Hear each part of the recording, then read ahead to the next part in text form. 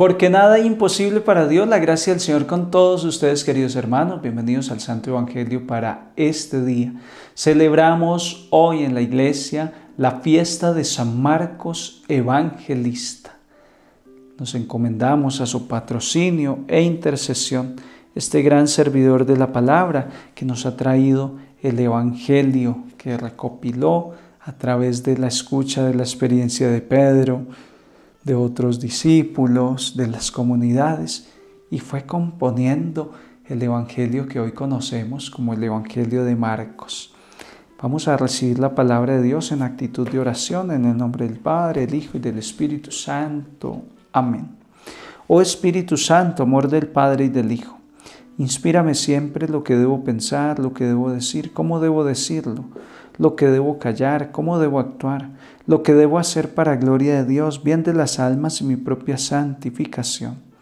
Espíritu Santo, dame agudeza para entender, capacidad para retener, método y facultad para aprender, sutileza para interpretar, gracia y eficacia para hablar. Dame acierto al empezar, dirección al progresar y perfección al acabar. Amén.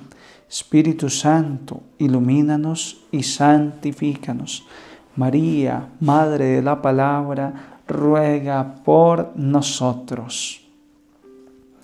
Oremos con el Salmo 88. Cantaré eternamente tus misericordias, Señor. Cantaré eternamente la misericordia del Señor. Anunciaré tu fidelidad a por todas las edades, porque dijiste, la misericordia es un edificio eterno, más que el cielo has afianzado tu fidelidad. Cantaré eternamente tus misericordias, Señor. El cielo proclama tus maravillas, Señor, y tu fidelidad en la asamblea de los santos. ¿Quién sobre las nubes se compara a Dios? ¿Quién como el Señor entre los seres divinos? Cantaré eternamente tus misericordias, Señor. Dichoso el pueblo que sabe aclamarte. Caminará, oh Señor, a la luz de tu rostro. Tu nombre es su gozo cada día, tu justicia es su orgullo. Cantaré eternamente tus misericordias, Señor. Vamos a compartir hoy el Evangelio de Marcos en el capítulo 16, versículos 15 al 20. En aquel tiempo se apareció Jesús a los once y les dijo, Id al mundo entero y proclamad el Evangelio a toda la creación. El que crea y sea bautizado se salvará. El que no crea será condenado. A los que crean les acompañarán estos signos. Echarán demonios en mi nombre. Hablarán lenguas nuevas tomarán serpientes en sus manos, y si beben un veneno mortal, no les hará daño. Impondrán las manos a los enfermos y quedarán sanos. Después de haberles hablado, el Señor Jesús fue llevado al cielo y se sentó a la derecha de Dios. Ellos se fueron a predicar por todas partes y el Señor cooperaba confirmando la palabra con las señales que los acompañaban. Palabra del Señor, gloria a ti, Señor Jesús. El apóstol Pedro da testimonio de cómo Marcos es uno de estos que ha entendido este, este mandato de Jesús, de ir por el mundo entero anunciando la buena noticia, llevando el Evangelio a tantas partes. Marcos es un hijo querido para el apóstol Pedro, un ayudante en la evangelización, un evangelizador tremendo, pues compartió con Pedro. Y si compartió con Pedro, compartió con la gente importante de la comunidad cristiana. Y es muy interesante que Marcos puso al servicio de Dios sus talentos, sus habilidades, sus capacidades. Y dentro de esas capacidades estaba el componer un evangelio, el ir recopilando, el ir tomando nota, lo que Pedro iba contando, lo que otros discípulos iban contando. Y en la experiencia de la misión que está llevando a cabo, de evangelizar, de anunciar la buena nueva, pues se le ocurrió un método poderoso para cumplir este mandato de Jesús y fue poner por escrito los evangelios, la vida de Jesús, la buena noticia que él anunció durante su vida pública. Gracias a Dios por el evangelista San Marcos. Pues bien, eso sucedió hace dos mil años. Ya él hizo su tarea. Dos mil años después, el Señor vuelve a darnos la misma consigna que dio a Pedro y a los discípulos.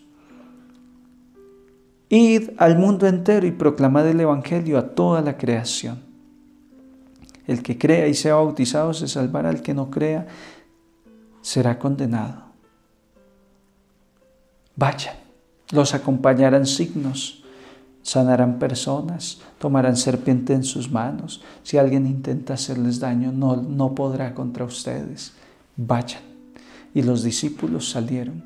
Y en esa salida nos damos cuenta de que encontraron nuevos discípulos como a Marcos, como a Timoteo, como a Bernabé.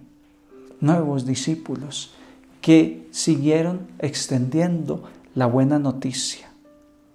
Así ha crecido la iglesia durante dos mil años a través de un testimoniar la palabra de Dios, a través de cumplir este mandato del Señor Jesús. Vayan y hagan discípulos míos a todas las gentes. Vayan, anuncien la buena noticia. Bauticen. El que crea y se bautice se salvará. Por eso la importancia la primacía del sacramento del bautismo. Hay tanto que nosotros pudiéramos hacer para evangelizar, pero a veces cruzados de brazos y con tantos talentos que otros no tienen. Fíjense que no existe un evangelio según San Pedro. No existe un evangelio según San Pedro. No tenía la habilidad tal vez, no, no sintió el llamado. Marcos, andando con Pedro, vio la necesidad de poner por escrito, vio la necesidad de componer un evangelio. Y gracias a Marcos tenemos uno de los cuatro evangelios que llegan hasta nosotros. Es decir, que Marcos lo hizo también, que dos mil años después sigue cumpliendo el mandato de Jesús. Ve por el mundo entero. ¿Por cuántas partes irá la Sagrada Escritura, la Biblia? ¿Por cuántas partes? Por el mundo entero, anunciándonos la buena noticia del Salvador. Esta fiesta del evangelista San Marcos es un llamado a todos nosotros a ponernos la camiseta de la evangelización, a tomarnos en serio esto de que yo con mi talento puedo evangelizar. Marcos si hubiera podido quedar acompleja y decir, no, pues yo no viví con el Señor, no, eh, yo, yo no, no tengo esa autoridad que tiene Pedro, yo más bien soy más tímido. Pero él no se puso a ver sus limitaciones. Él vio su talento y se dio cuenta que nos podía regalar el Evangelio. Él ni se imaginó el alcance de lo que estaba haciendo. A veces uno hace cosas sencillas y él lo pensaría así. Vamos a componer un evangelio, vamos a empezar un proyecto de un evangelio para, para que le llegue a otras personas, para que las comunidades más fáciles a través del evangelio puedan puedan conocer la vida de Cristo, lo que hizo por nosotros. Él no alcanzó a dimensionar que este Evangelio llegaría hasta nuestros días, que dos mil años después, en una Eucaristía, se diría proclamación del Santo Evangelio según San Marcos. ¿Qué sabes tú, querido hermano? Que ese talento que tú más bien menosprecias, que no te tienes confianza en ti, pero que Dios te ha dado, para causar un impacto impresionante en otras personas. Yo le agradezco mucho a doña Tulia Valencia, la señora que invitó a mi mamá a que fuera al grupo de oración de la parroquia allá en Roslanillo. Gracias a esa invitación de esa señora, Mi mamá empezó en el camino de la evangelización, tuvo conversión, se reconcilió con mi papá. Nos transmitieron entre los dos la fe gracias a personas como Marcos que confiaron en que el talento que tenían era importante y había que ponerlo al servicio de Dios. Tú y yo a veces nos llenamos de excusas para no servir, pero es que yo no tengo autoridad, pero es que yo no sé hablar como, como habla Pedro, pero es que yo aquello, lo otro. No, Marcos no se quedó en eso. Dijo, lo que sé hacer, lo voy a hacer. Y se dedicó a servirle a Pedro y se dedicó a hacer bien lo que sabía hacer. Parece que escribir se le daba muy bien recopilar información se le daba muy bien. Gracias a él, Evangelio de San Marcos. Mira a ver qué se te da bien a ti y piensa cómo lo puedes emplear para la evangelización. Piensa cómo esto puede causar impacto de salvación en otras personas, para que Jesús sea conocido. María, Madre de la Iglesia, ruega por nosotros. Espíritu Santo, ilumínanos y santifícanos. La bendición de Dios Todopoderoso, Padre, Hijo, Espíritu Santo, los acompañe siempre. Un santo día en el Señor para todos.